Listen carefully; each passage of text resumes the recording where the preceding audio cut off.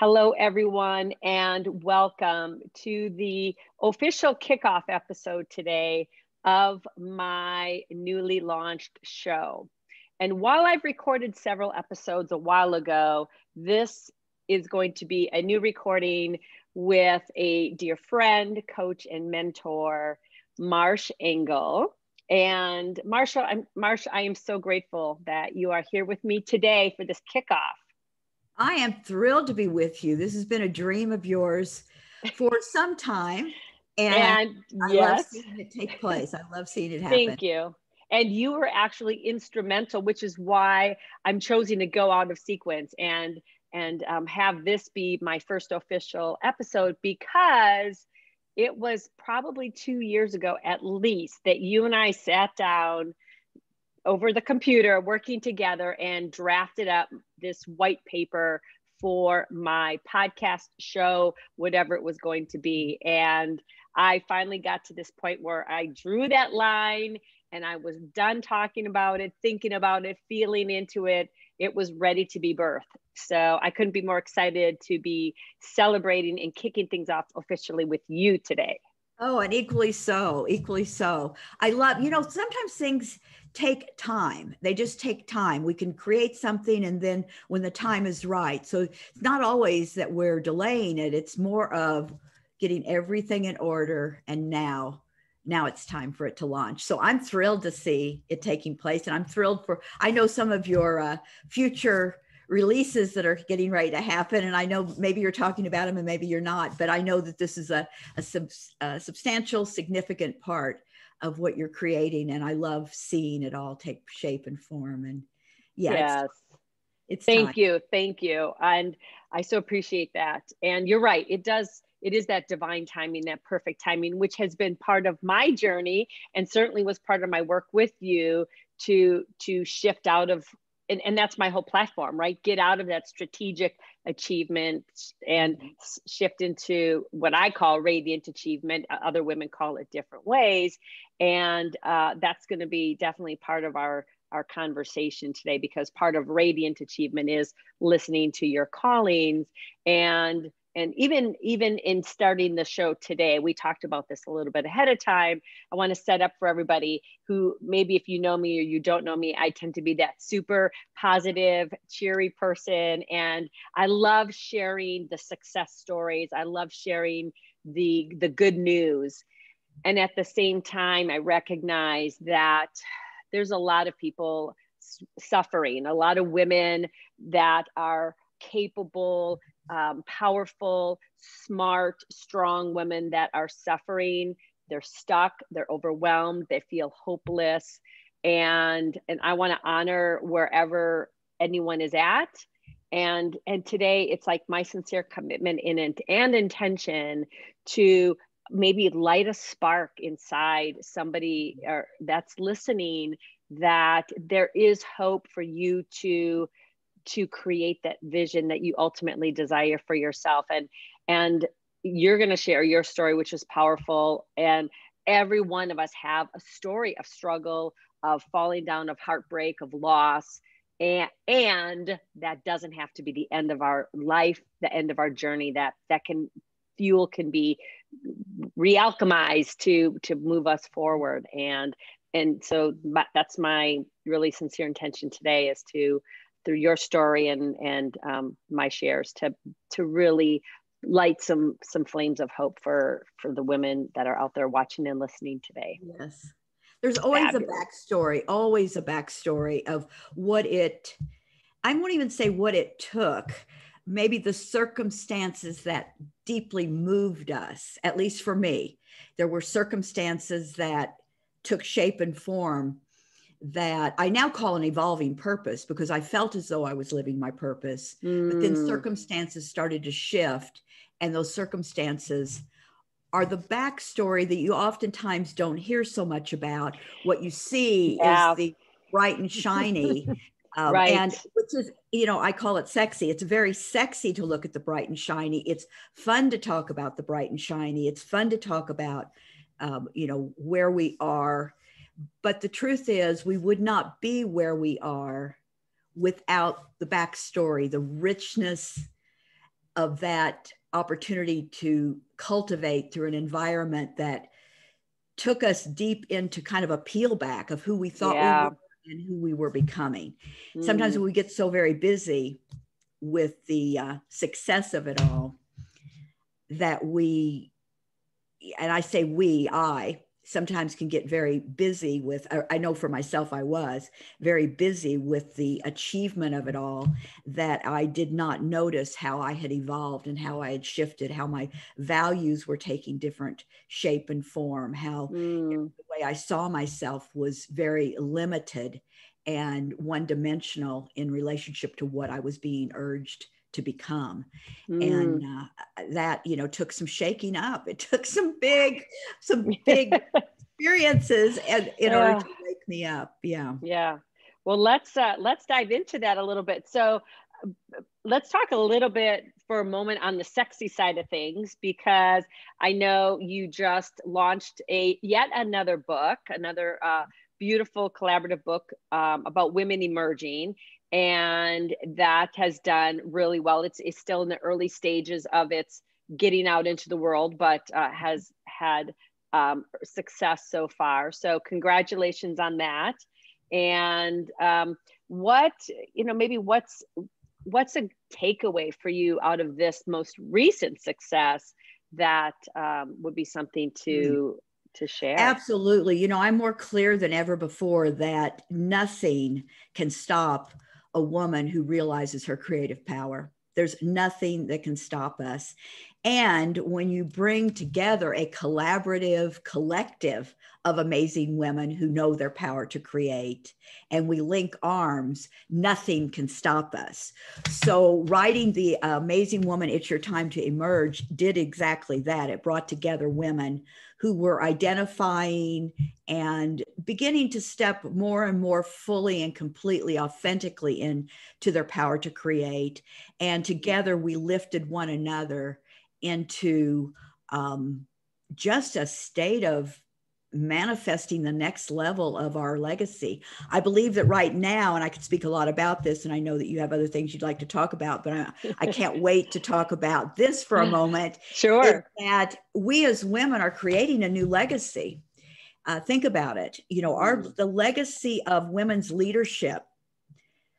I've been leading the Amazing Woman movement now for 20 years. And 20 years ago, the legacy of the Amazing Woman movement or the legacy of the women's movement very different than it is today think about that yes. think about the number of women that are uh, exercising their creativity through entrepreneurship or through uh, creating change through uh, social consciousness and social movements. Think about the women that are re identifying and reimagining who they identify themselves to be in ways that will lift and inspire a nation of amazing women, but also the future of the next generations. And I say generations because I think it's mm-hmm. multiple generations of amazing women. So no matter where we are on that spectrum of creating, I believe it's so important for us to remember that what we are doing every single day with the interactions we have with with one another, just like you and I speaking right now. Yeah. With the interactions we have with our family, with the interactions we have with our community and our loved ones, all of that has the power to create legacy. Yeah. And how are we choosing to do that? Is I'm very passionate about this conversation. and it really came to me through, you know, circling back around to the amazing woman, it's your time to yeah. Book I realized that we were not creating a movement, we were creating a legacy. Mm. The amazing women in the movement are the legacy makers. Love so it. Every one of them have the ability through their own unique and individual distinctions and ways that they're making a difference in their lives and in the lives of their the members of their communities and their families. Every part of their life is a legacy. When we mm-hmm. began to honor it in that way, Christine, it was amazing to me what started to come through. The level, you know, we just sat a little taller in our seat. Yeah. You know, we honored ourselves just a little bit more, knowing that we have that power to create and we have the voices that we have.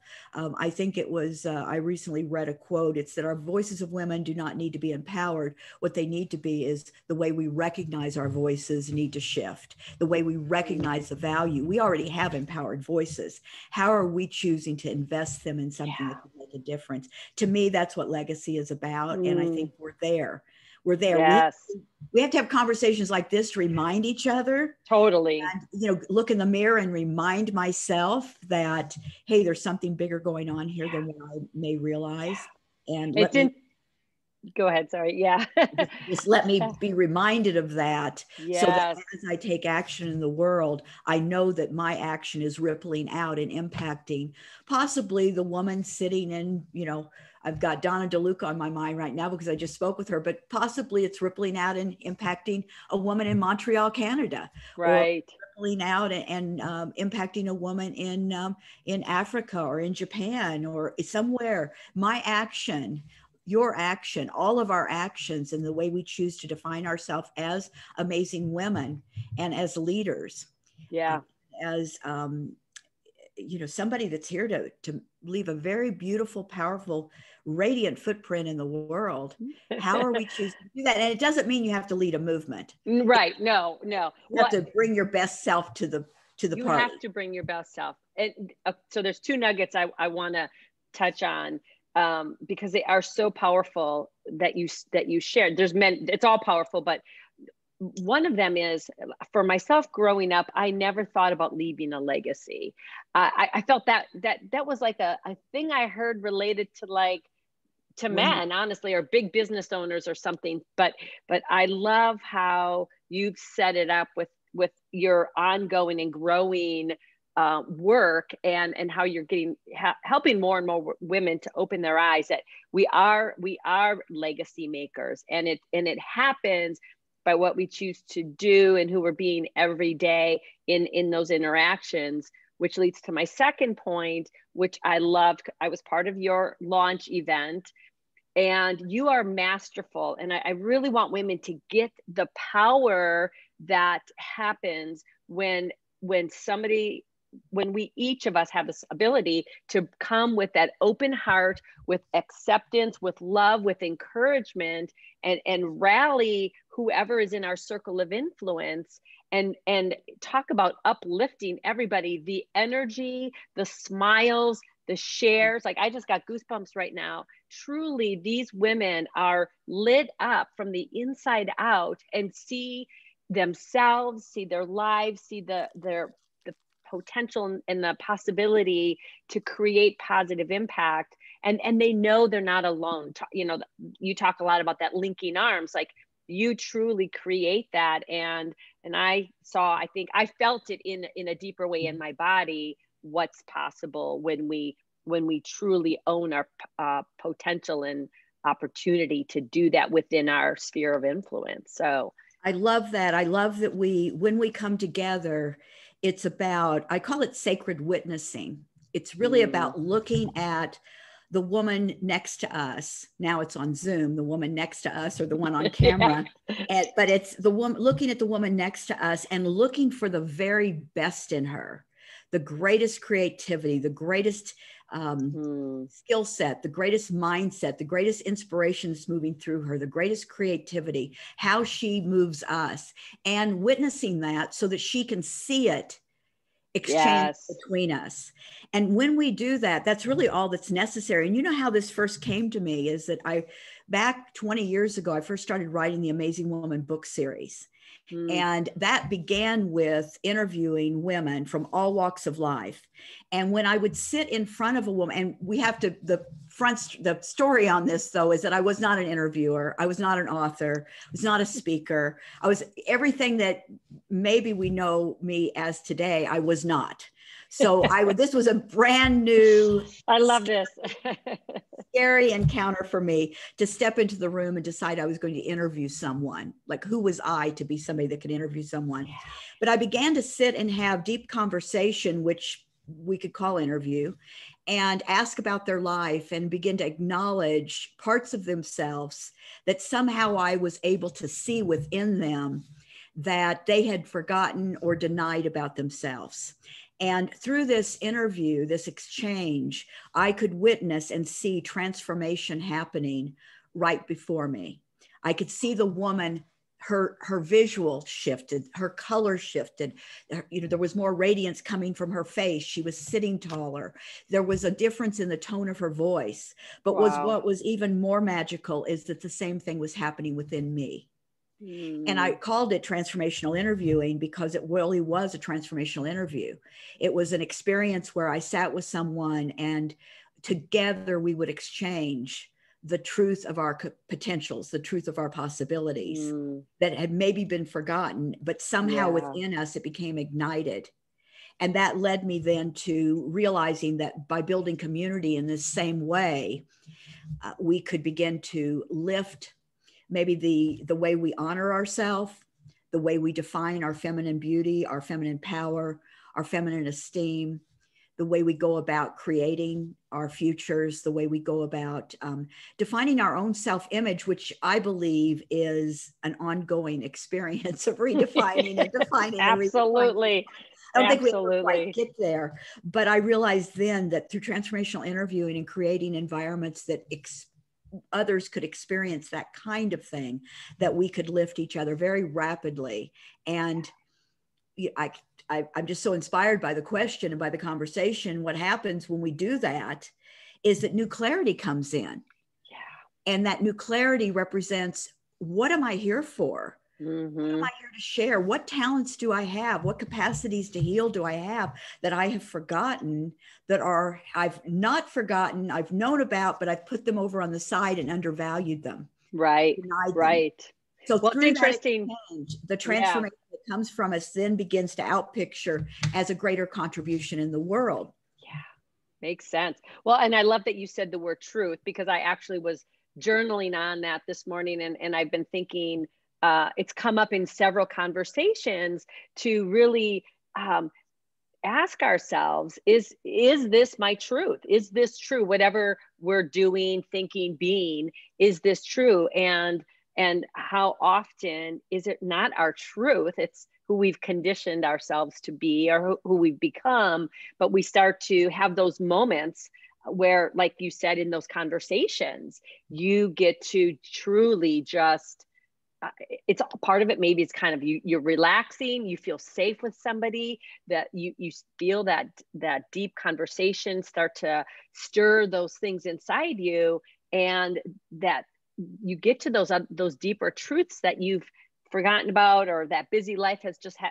haven't hasn't allowed you the opportunity to connect with and it's or just we've just undervalued we have undervalued denied so it. many yeah you know we've thought yeah I, I can't even begin to tell you i've you know coached thousands of women and 99.9% or more yeah. have undervalued their greatest gifts, talents, and capacities. Ah.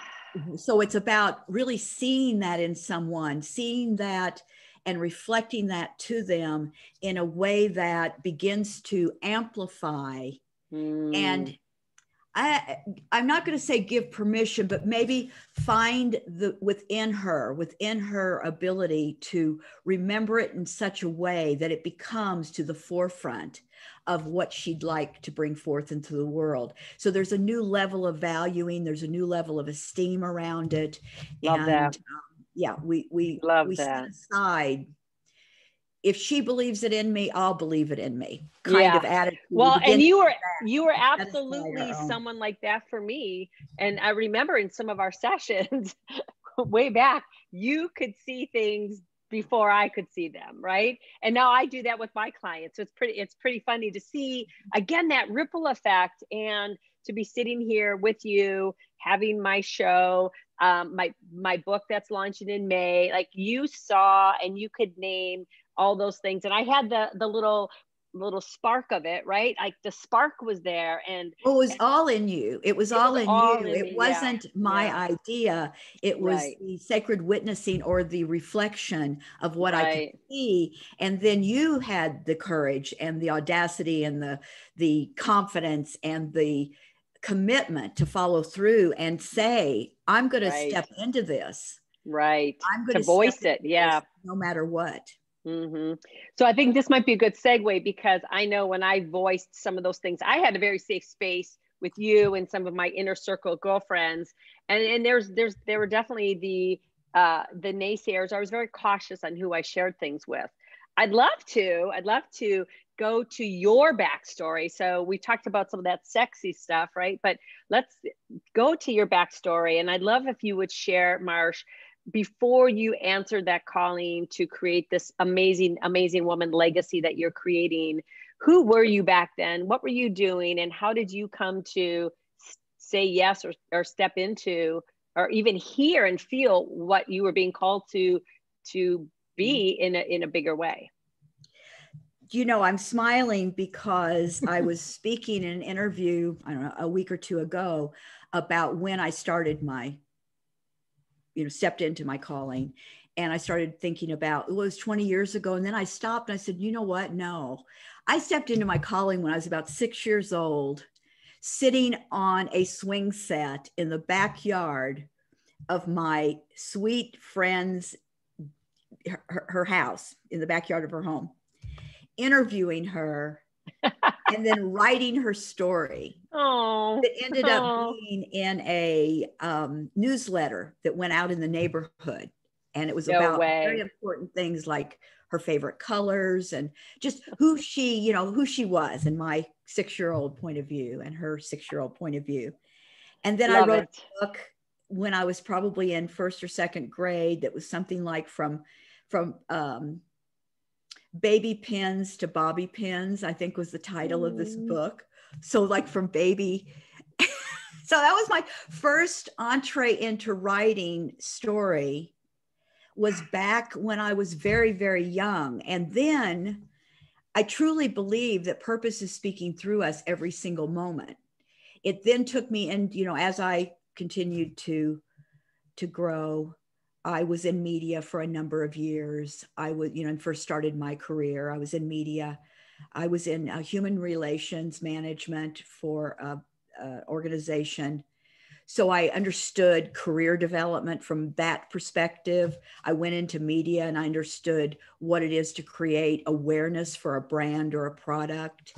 I uh, then left television and went on to um, launch a promotional marketing agency for television and film, which then again, purpose evolving through me gave me this insight into what it takes to create a movement around a idea or wow. a message and i launched you know characters like um, elmo for sesame street the power rangers i did i had big big um, clients studio clients but also I had big uh, character clients. So Elmo was a very yeah character client, and totally, uh, you know, the Power Rangers very big character client. So I understood what it took to manage those kinds of clients in a way that would create mass awareness for them, which I translate that into how do you create a movement around a message. Mm. And then is when I had what I call this wave of awakening. Okay, mm. so I'd gotten to this place where I was equipped with the external skill set of what it would be to lead a movement. Now, what I needed was the internal environment to ah. understand what the movement was. And I was very much, um, at the time, as leading a promotional marketing agency, I had 36 employees. It was very, very full, long days, and very much a type A, overworking, stressed, personality that was way identified by the success of ah. the outcome, by the achievement of the outcome. So the success never truly felt like a success until it was completed. Mm. And I realized that very quickly that just as our purpose is evolving through us every moment, so is our level of creativity, so is our level of connectedness with what we're creating, so is our level of success every single yeah. moment.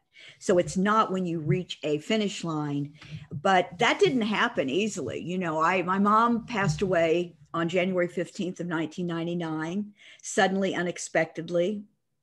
Uh, brought me to my knees. I was mm. just devastated by the surprise of it all and by the um, the closeness, I think, that had not yet been quite understood what she was here to teach me. Mm. Really, a lot of what she was here to teach me came afterwards. And let me tell you what happened was I was, um, I flew home to Evansville, Indiana, which is where I'm from originally. I live in Los Angeles now, but originally Evansville, Indiana. And I was sitting in the middle of what I called my mom's room, her bed in her room. She had all of her angels. My mom was very, very mm. feminine very spiritual, uh, wrote beautiful, beautiful prayers, spoke in church, mm. sang in church. Wow. Beautiful, a beautiful spiritual messenger.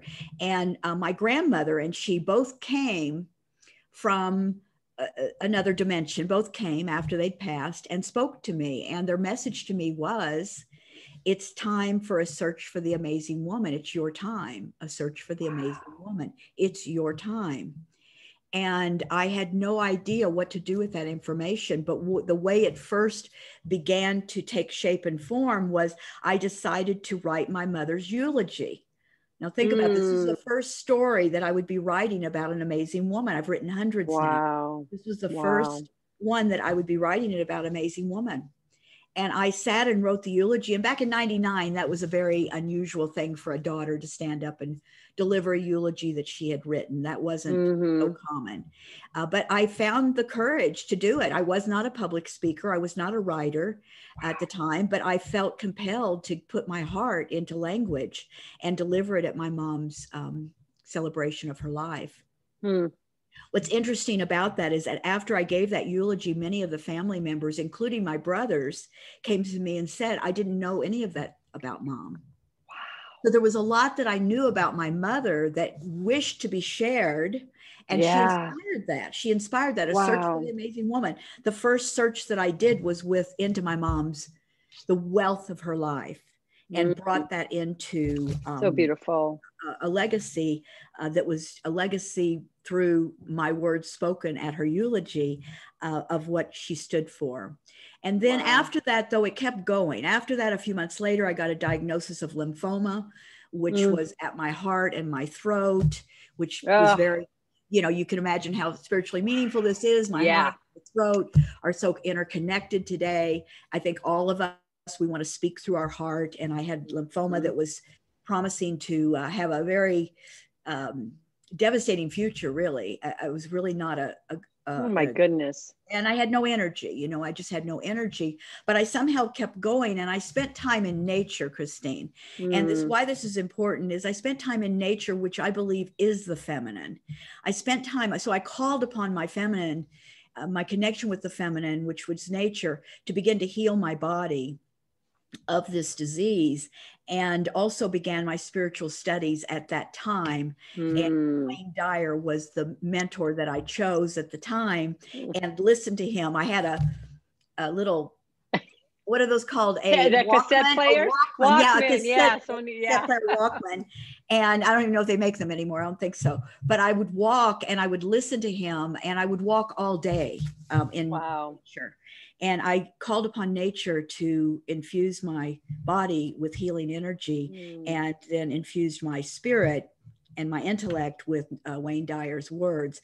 But it wasn't over yet. It wasn't over. Uh, then my dad died. So, all within oh. 18 months, oh, I had this what I call a wave of awakening. It was my mom passing, crashing waves, crashing yes, waves. Wow the diagnosis that I had and then my dad dying all within 18 months. And I knew that life needed to change. I let my business go that I'd been building. I let employees go, which was heartbreaking for wow. me. And I stepped away, locked the door to my office, and walked wow. away bed life is going to change. It's a search for the amazing woman. And I knew that there was time for me to awaken. And I that's when I began the interviews. I just interviewed as many women as I could find to interview uh, from every walk of life. I would meet them in grocery store lines. I'd meet them in elevators. I'd meet them, you know, and connect with them. And then I went on to write some uh, really empowering books that changed my life, like writing the book about the female firefighters of FDNY yeah.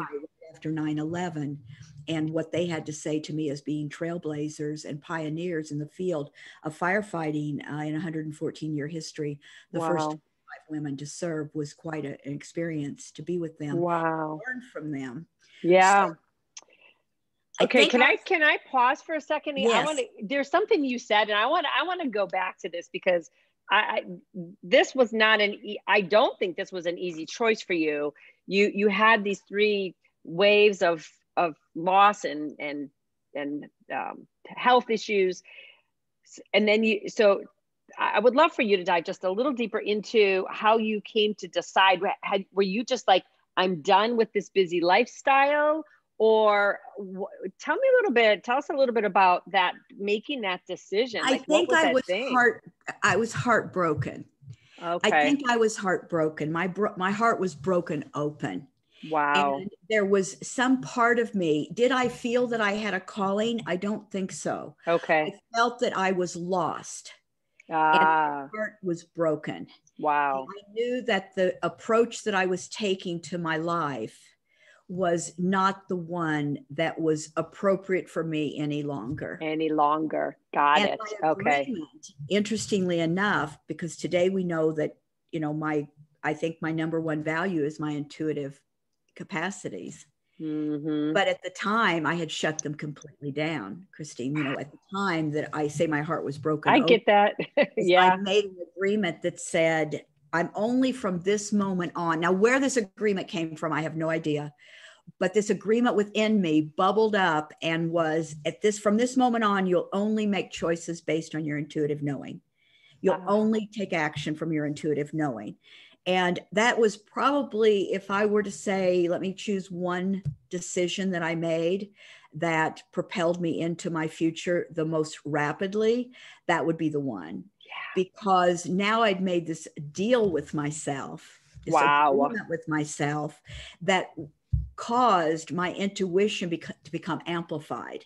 Mm. And I would call upon it constantly. And I began to trust it more and more and more and more. And that's a continuing, a continuing yeah. ongoing process, trusting our intuitive knowing, because sometimes it speaks things that make absolutely no sense at all like I yeah. don't know. I'm like, like, okay, I'll yeah, trust. I'm just gonna ignore that. Maybe, yeah, maybe I maybe I didn't catch that right. yeah, maybe, maybe that's right. Yeah. Wow. So you so what I what it felt like for me is is a similar thing. What I did is that there was that day I drew the line in the sand, or I mm-hmm. put that stake in the ground, and I said, never again am I going to deny what is stirring up and what's what I'm being called to do to to be to have whatever that is. And then like I knew like you said my life as I knew it it, it was going to change and I wasn't going to I couldn't continue that other mm-hmm. path. So was there ever a point after that moment that you doubted you did the right thing or how, did you have support on this new path? How, how was that for you? So i you know i trusted my intuition. Here i am i'm heartbroken and trusting my intuition. This is about the way my life was looking. I had no sense of direction uh, at all. I would like to tell you I did, but I did not. I'd like to have yeah. some grand story that, oh, then that. So, yeah. what it did was it took me to um, connect with a friend of mine who's a very well known intuitive guide and was my one of my first spiritual teachers and he said let's go down to this we had dinner together he said let's go down to this bookstore and um, I'm going to send a shout out to Eddie Connor because that's his name. Eddie Connor is a very gifted, mm-hmm. gifted reader. And he said, "Let's um, let's go down to this bookstore after dinner." And I said, "Okay." And we go down to this bookstore on the strip in the valley, wherever we were. And we go into the small bookstore and he hands me a book. And when he did, Christine, a charge went up my arm. It was like a vibration went Woo. up my arm. And the book was called The Four Agreements. Ah. And I looked at him and I said, I don't know who this is. I don't know what this book's about, but I'm going to study with this author. I'm going to wow. somehow I'm going to study with this author. He said, Marsh, there's no way. This is my friend. This is, there's no way you're going to study with this author. He, this is an international bestseller. Oprah just named it the book that changed her life. The likelihood of you studying with this author is very, very slim. And I said, like it or not, yeah. Believe it or not, I'm going to study with this author. So a week, maybe less later, I'm sitting in a restaurant and I pick up one of these whole life times, you know, one of these ma- the magazines. And here's this photograph of Don Miguel Ruiz, the author of the Four Agreements. Yeah. And he's a group to uh, Teotihuacan, Mexico. Oh my goodness. To, to journey, this journey to Mexico. And I said, Oh, I'm going to go on this. I, I love it. Phone and I write in the restaurant. I call and Rita Rivera answers the phone. And I said, I would like to go to, and I couldn't say it at the time. I Teotihuacan, I couldn't pronounce the name. I said, I just want to go to Mexico with you, and I'm ready to go. I'm ready to go. And she said, Oh, oh you know what? That that group is completely full. And I said, That is so strange because I see myself in Mexico with you. and she said, Just a minute she said, You know what? I see you in Mexico with us too. So she said, Okay, you get ready. And if somebody cancels, you go to Mexico with us. Wow. So, about, I don't know, four or five days before, I'm getting ready to go and I'm packed up, ready to go. And I get the phone call. I catch the flight. I meet them in Mexico City. Oh my goodness. No one knew no Come one. On. No one. So I had really surrendered to purpose at this wow. time. Now I did not know I had surrendered to purpose. Yeah. I did not know that, but I was at a level where surrendering meant more to me than being stuck. Hmm. Letting go of the way things had been. Yeah. That letting go meant more to me than being caught in the way things had been. So I got on the plane, went to Mexico, went to Teotihuacan, spent a week there, maybe maybe longer, with this group who happened to be all teachers of Don Miguel. I did not know. I had no idea. I end up in this group with all these beautiful, beautiful teachers. Wow. And I'm at the very last day, we're walking the Pyramid of the Sun. And I'm thinking, okay, good. I've done my work. Now my purpose is going to be revealed. Okay. Oh. Big, this big purpose for me is going yeah, to be like check, check, check. this ready for small purpose. purpose for me, yeah. whatever this purpose is for me, is going to be revealed. So I walk to the top of the pyramid of the sun, and absolutely nothing. It's it's oh, cricket. No. There's nothing. I have no clarity. I have no insight. Nothing. Ah. Oh. So I'm walking down the pyramid round and round and round and round. And as I'm walking, I have this mantra of surrender. It's okay mm. that I mm. don't know. I don't need to know. Maybe it's more powerful that I don't know. This was my mantra walking the entire way down, which I know today was absolutely falling in, deepening, deepening, deepening into surrender of purpose. Yeah. And so I get to the very bottom of the pyramid, my feet hit the ground, and I heard, create a day on which this always brings up emotion. Oh my gosh. Create a day on which all women honor themselves. Wow. And I thought, wow, create a day on which all women honor themselves. I said, Are you crazy? That is like, that is the craziest idea I've ever heard. How would I ever do that? And so, oh my God. Clear and said, uh, Marsh, from the very beginning, you've been equipped for exactly this. Now, realizing how I'd been equipped ended up being such a deepening of my awakening, but it also began to announce my calling, which is to help other women realize how they too have been equipped from very early in their life and yeah. beyond, how wow. they're fully equipped to live a purpose. And it's about discovering what is it. Yeah. And that sent me then on the journey of writing the Amazing Woman book series, establishing okay. Day. Yeah. And I I fell both feet in, committed to wow. a purpose that is ever evolving. You know, ever evolving, ever yeah. Evolving. I yeah. think it's ever evolving from the beginning. Sure, it is. Six year old sure little girl writing that first story Absolutely. all the way through. I agree. Well, the sur- your surrender, like that, kind of just took my breath away a little bit. The amount of surrendering, just keep continuing to surrender and let go, because you know, I, I was stand, I was putting myself in your situation, and like we want to know, we want to check the box. We want. I came here for a purpose to get an answer. Like, where's my answer? And and and and I. Uh, have realized for myself again that there is so much beauty and power and, and magic and mystery in the surrender and there's so much more than i my brain cannot even comprehend or know or know and and that's that's where our true power lies in that surrender and connecting to that whether it's your intuition your higher self your source god to be guided in your unique way for letting that continuing to unfold like i oh, that just well, magic. the surrender is like pulling the curtain back and able to see all that you've overlooked, denied, undervalued, yeah. forgotten. So the surrender yeah. is not a I give up. The surrender no, yeah, I am yeah. willing to see how mm. magnificent Mm. Life has really prepared me for this very moment. Yeah. How magnificent my creativity is, mm. how important my voice is in the way that it is. And I'm saying this for all of us, not just yes. for me. I'm right. saying this for all right. of us. Is that that surrender is, and you know, I wrote a book called The Sacred Agreements. And the sacred agreements, the book. very first sacred agreement that had guided me early on was um, be willing to grow beyond the defined. Mm-hmm. Mm-hmm. So the mm-hmm. surrender for me was this agreement that I made with myself that said, Today I am willing to grow beyond the way I have defined myself wow. in order to open up to what's really truly here for me. Yeah. And that agreement every day has become, I think I even spoke about it the other night at our gathering is that that has yep. become very present for me. I'm willing to grow beyond the defined. And what does that mean to each of us individually is the question. How have I defined myself that is now I've outgrown?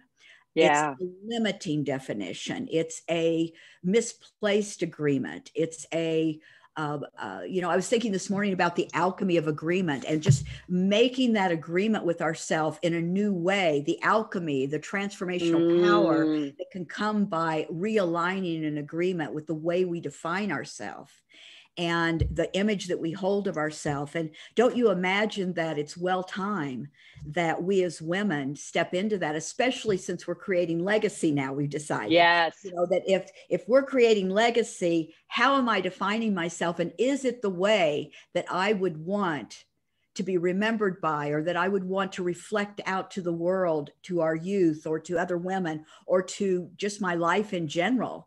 Is it right. the way that I see myself in stepping forward in defining the career that I'm here or the the passions that I'm here for my business or for the contribution that I choose to make, uh, philanthropic or otherwise? What is it that am I defining myself in such a way that is so outdated that yeah. it's 20 years ago? Or yeah. am I taking action in ways that are uh, very limiting in mm-hmm. the vision that I can truly create mm-hmm. for myself and for the world? So I think it's time. Um, Beautiful. Be willing to grow beyond the defined. Beautiful. I love that. That mantra. We our shoes, our handbags, our jeans get get changed more frequently, I think, than than what we than what we allow for ourselves for our evolution. I, so I love love that you are bringing that point up, and it is it is the, you know the time is now. More and more women. I know your tribe is growing. Your the women you are that are connecting to you, the women that are connecting to me, and each one of us has our own unique contribution to make and any amount of stuckness limit feeling limited feeling overwhelmed is is not serving us and and we need to it's, be it's willing natural we're going to feel that because it's the stretching yeah. and the growing yeah.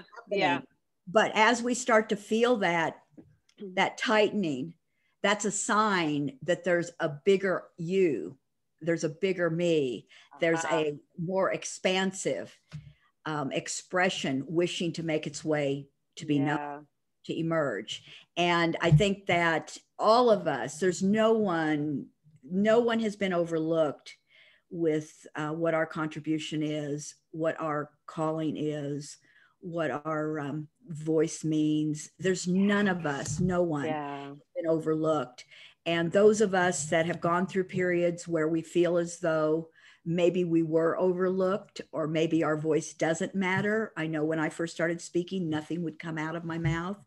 Um, I was so terrified to use my voice.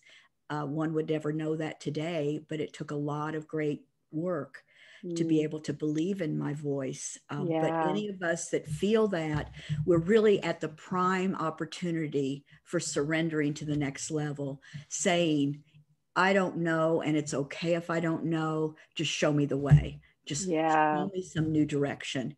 And before we know it, that level of connectedness with our higher creativity begins to create just wonder, awe inspired wonder yeah. Um, it, it, may not happen overnight, but if we stay with it, I promise you a new voice will uh, show up, a new focus will show up, a new sense of connectedness will show up. Uh, people will begin to show up in your life that will reflect mm-hmm. you. Um, mm-hmm. I just could go on and on about the stories yeah. that have taken shape through that experience and then through the gratitude that comes from saying yes. Yeah. So that's a that's a perfect perfect way to end. Before before we we sign off is there and, and that is a great kind of way to close. So i don't want to take away if that's if that's uh, where we end because that's powerful for women to know they have not been forgotten. No one came here not being equipped right? Is there is there anything else you'd love to share? Um, I, I know on my my question on my sheet is that piece of wisdom if somebody is truly on the fence or they're stuck and they just can't seem to get started you know what would be that that one golden nugget that you well, another one of my favorite point? mantras that i use for myself i use for my clients i think it's written in my book somewhere but it's that right now in this very moment someone is looking for exactly what you have to offer so to release yeah. that level of i'm not enough to release that belief or that agreement that says that somebody's already doing it, why should I do it? Any of those agreements that keep you stuck, not giving, know that the giving that you're doing is so, so, so needed in the world right now. And somebody right now is looking for exactly what you have to offer. And I will also say that somebody right now is noticing the difference you're making in their life Mm. And I think that we make differences in people's lives that we sometimes diminish or undervalue. So to notice that as well and find the gratitude in both of those experiences. What am I giving and what am I willing to receive? Mm, beautiful, beautiful wisdom from a amazing woman. And Marsh, this has been fantastic. I will have all your contact information in the show notes so they know where to find you online, social media, and and buy one of your book one of your books, the most recent one or any one of the other ones that are speaking to them. So um, I so loved our conversation today. thank you. I loved it too. It's great. And yes, thank you again for being here. And I look forward to sharing uh, sharing this message uh, with the world. So and thrilled to celebrate you on mm your uh, maiden voyage of uh, radiant achievement uh, with uh, Christine Howard. Thank you, thank you. So so fun to have had you part of it, and we launched this together today. So Fantastic. okay, everybody, thank you. So grateful that you were here and. Uh, hope that there's some at least one beautiful nugget that uh, you can put into action that inspired you in some way, that lit you up in some way to take your journey with your callings and being a legacy maker yourself. We'll see you real soon.